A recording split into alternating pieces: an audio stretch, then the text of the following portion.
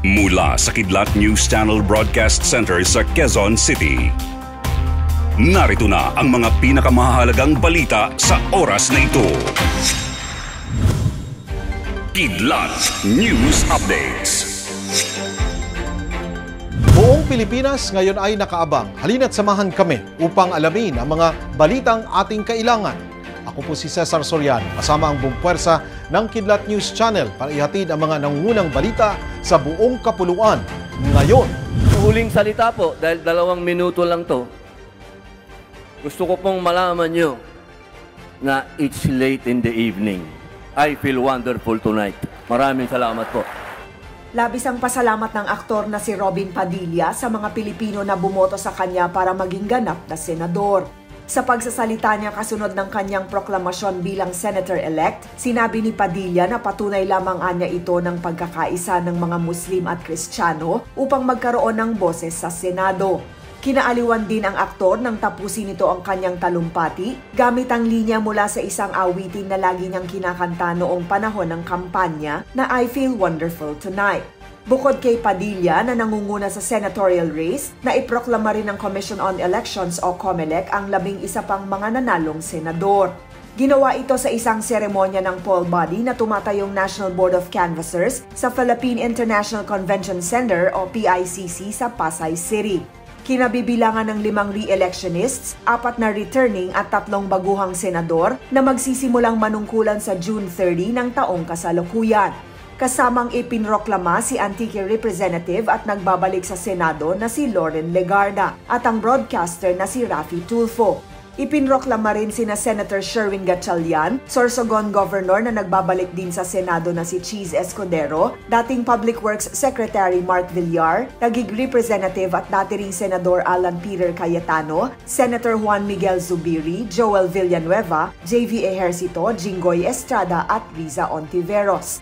Ang proklamasyon ay pinangunahan ng COMELEC Bank na binubuo ni na Chairman Saidamen Pangarungan, Commissioners George Erwin Garcia, Ray Bulay, Amy Ferolino, Amy Torrefranca Neri, Marlon Casquejo at Socorro Inting.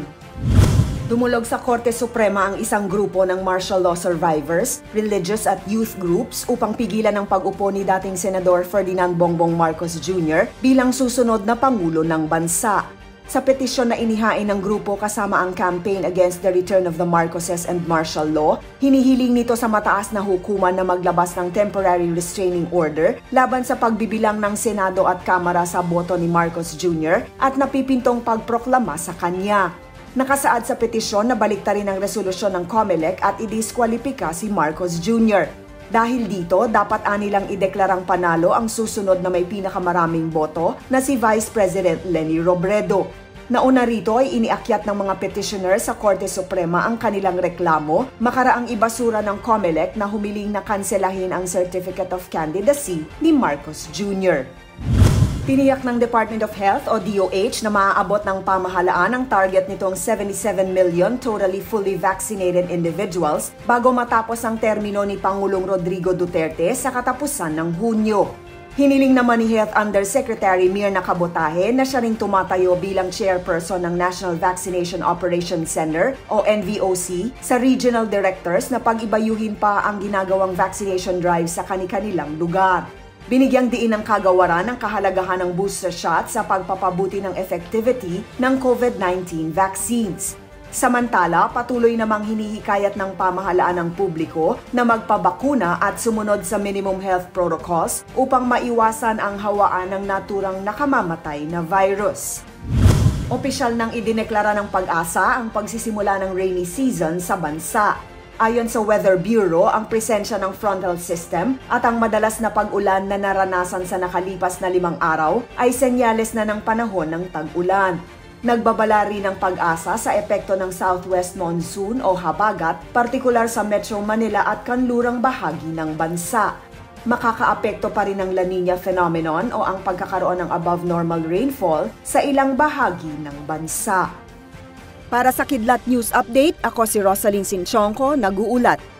Atin niyo pong natunghayan ang mga headlines sa nakalipas na mga oras. Manatiling nakatutok para sa mga susunod na updates at breaking news. Ako po si Cesar Soriano, kasama nyo sa bawat pagputok ng balita. Thank you.